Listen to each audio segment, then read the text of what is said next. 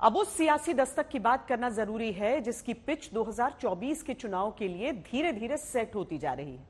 मुद्दा है सनातन वाली सियासत। विवाद जो दक्षिण से शुरू हुआ, उत्तर में बढ़ा, अब लोकसभा में कांग्रेस के नेता अधीर रंजन चौधरी बीजेपी पर सवाल उठाते हैं। कहते हैं, बीजेपी ही उत्तर और दक्षिण में खाई बड़ी कर रही है। लेकिन इस बात का जवाब नहीं दे पाते कि इंडिया गठबंधन के साथी नेताओं के सनातन के खिलाफ भड़काने वाले बयानों पर रोक क्यों नहीं लगवाते? सोनिया जी, भाजपा की ओर से हम आपको साफ़ साफ़ बताना चाहते हैं। आपके गठबंधन के बारे में हम सनातन का अपमान नहीं सहेगा हिंदुस्तान। हिंदू आस्था का अपमान नहीं सहेगा हिंदुस्तान। और अब तो इसको हम गाँव गाँव पहुंचाएँगे। अच्छा है सोनिया जी, आपने एजेंडा सेट कर दिया है अपने मित्रों और चेलों के साथ। एजेंडा सेट, सनातन पर वार का जवाब। लक्ष्य भी तय, सोनिया गांधी, राहुल गांधी से जवाब मांगना। आक्रमण की धार भी तय, चुनावी राज्य में आक्रामक धीरे धीरे बाकी राज्यों में तेज़ी लाना। वजह भी तय, इंडिया गठबंधन के सदस्य डीएमके का लगातार सनातन धर्म पर विवादित बयान। पहले तमिलनाडु के मुख्यमंत्री के बेटे उदय निधि स्टालिन, फिर डीएम के सांसद ए राजा, फिर तमिलनाडु के शिक्षा मंत्री पोनमुडी, फिर डीएम के सांसद ए राजा।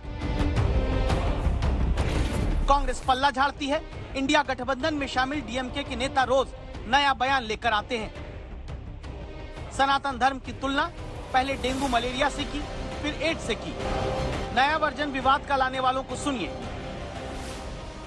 इंडिया ஒரு சனாதன கொள்கைக்கு எதிர்ப்பாக உருவாக்கப்பட்டிருக்கிற கூட்டணி தான் இந்தியா எங்களுக்குள் கருத்து வேறுபாடுகள் இருக்கலாம் ஆனால் இந்த சனாதனத்தை எதிர்க்க வேண்டும் என்பதிலே யாருக்கும் எந்த வேறுபட்ட கருத்தும் இல்லை இதில் இருப்பவர்கள் எல்லாம் சமத்துவத்தை உருவாக்க வேண்டும் Hindu religion is a biggest menace not only to India, now it becomes it is a menace to the entire world.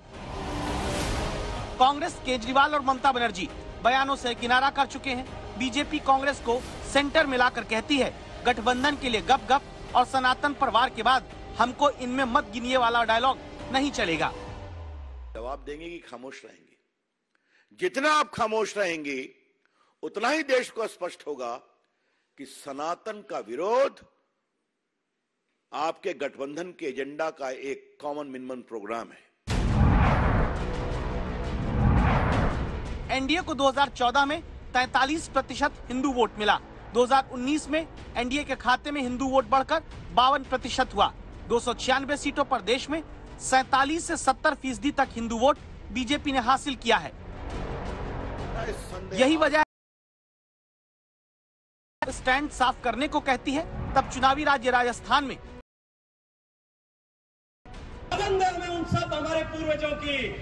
जिन्होंने चाहे वो महाराजा सूरजमल होंगे, चाहे वीर दुर्गादास होंगे महाराणा प्रताप है, हम सबको उनकी सौगंध उठा करके खड़े होना पड़ेगा कि हम इस सनातन पर हमला करने वालों को बर्दाश्त नहीं करेंगे हम बर्दाश्त नहीं करेंगे हम उनको उखाड़ करके फेंक दें और चुनौती के साथ में खड़ा होना पड़ेगा। जो सनातन के विरोध में बात करेगा, उस हर बोलने वाली शब्द, बोलने वाली जबान को हम खींच करके बाहर निकाल देंगे। जो सनातन की तरफ़ आँख उठा करके देखेगा उस उठने वाली हर एक आँख को हम उंगली डाल करके आपको बाहर निकाल देंगे।